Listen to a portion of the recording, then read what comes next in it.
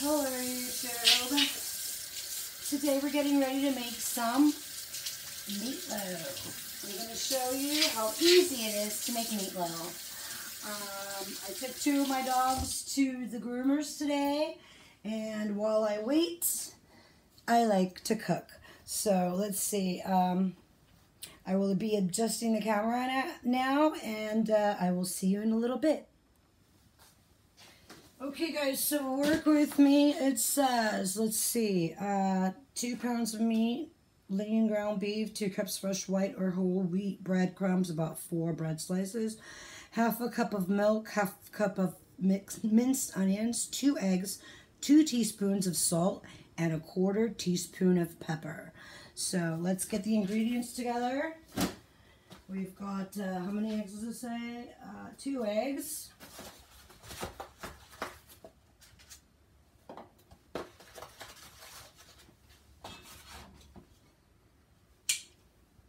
Always remember to rinse your bowl. Okay, so you got that. You got that.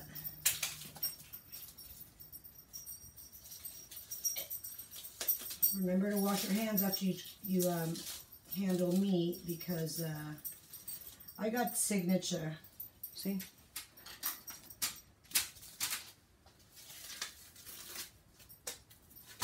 There. Okay, so now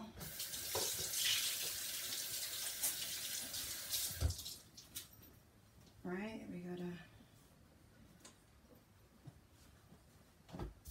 cut this.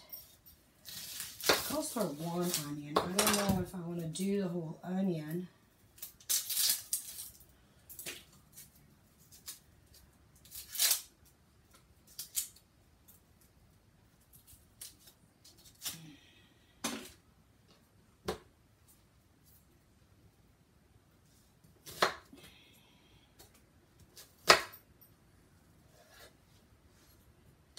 Be very careful not to cut yourself. Um, if you ever get a chance to take a cooking lesson, I did, and um, I think the only thing I learned was that you have to season every aspect of the meal. So every food that goes into the the concoction has to be seasoned with salt. That was something I didn't know. I thought you could you just you just could you know salt your food like once and that was it. But be careful not to cut yourself. Um, you know, you got to learn how to handle these knives very carefully because you don't want to kill yourself trying to make a meal. Um, I like meatloaf because it's just me and my husband and usually meatloaf allows you to have a day or two of leftovers and you could do sandwiches, you could do cold, or you could just continue to, you know, to do the, you know, what the,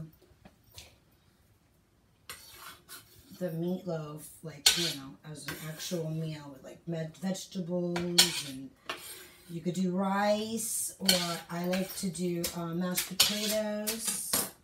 Okay, so it says half a cup of milk. So we gotta get the milk out. I got this new fridge and it has basically given me a new lease on life. Oh, I need a measuring cup. Okay, let's see. I don't have a measuring cup handy, which means I'm gonna have to improvise. Okay, so here's the I bought two kinds of breadcrumbs. I like to have breadcrumbs on hand. So I got the Signature Select breadcrumbs because, you know, it's all the same. Um, you could go with plain wrap or regular uh, plain wrap or Signature, which is like the store brand, right? Okay, so it's it calls for half a cup of milk. So you got your half a cup of milk, right? Um, and two cups of breadcrumbs. So here is what we're going to do. I have to have a measuring cup somewhere. Oh. This is the problem. Let's use this one. I had my garlic sitting in there. Okay, let's put the milk away.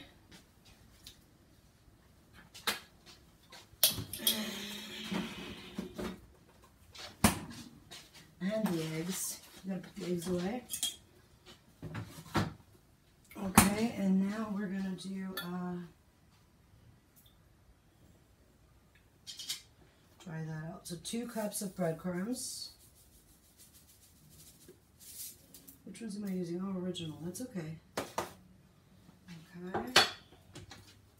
The breadcrumbs go back here because I got to put them in the thing. Um, two teaspoons of salt.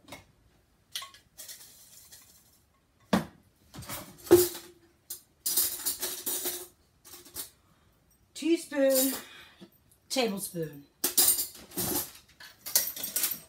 Wait, does it say teaspoons? Yeah, two teaspoons of salt.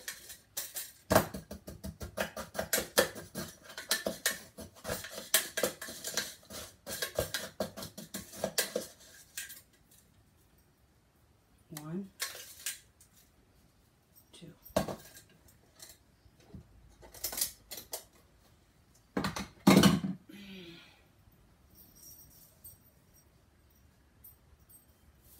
Okay, so that was our ingredients. Let me wash my hands one last time. Clean up the area. Right?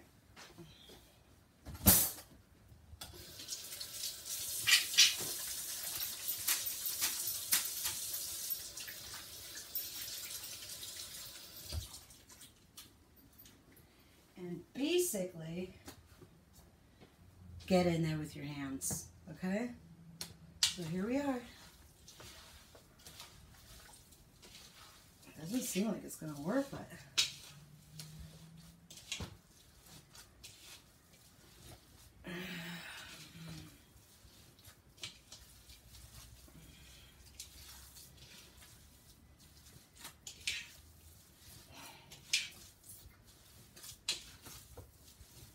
you just need everything together.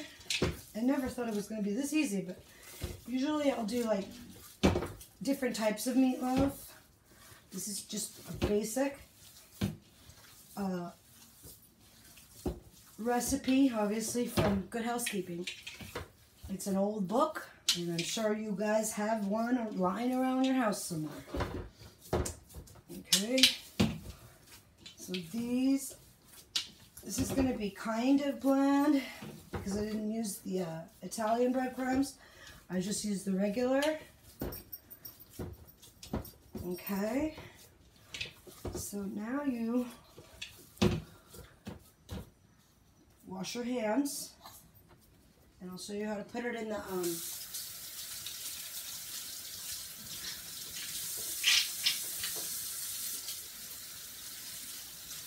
in the oven.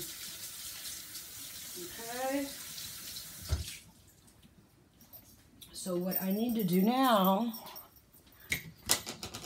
is borrow this here because that's my loaf pan.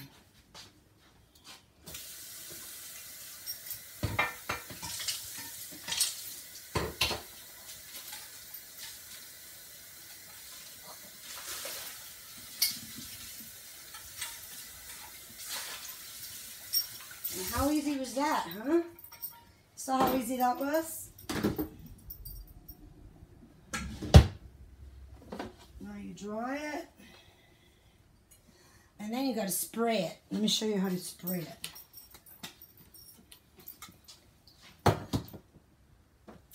So this is the spray cooking oil. Spray it really well. Alright. And then you gotta scoop it in there. So here we go.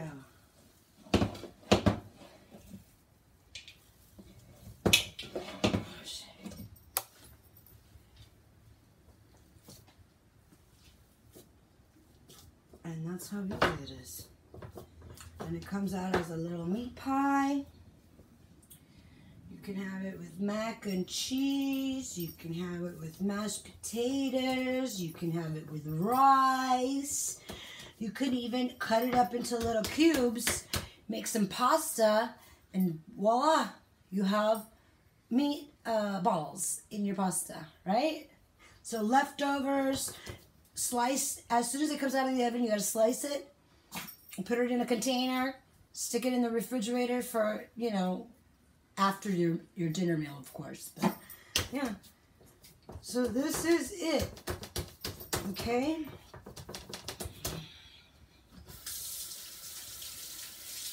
And that was quick, huh?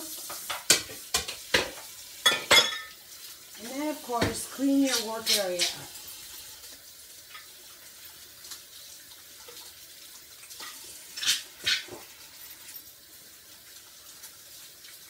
Okay.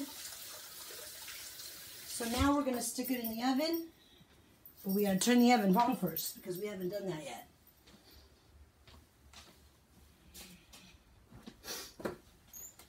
Okay, so let's go over here.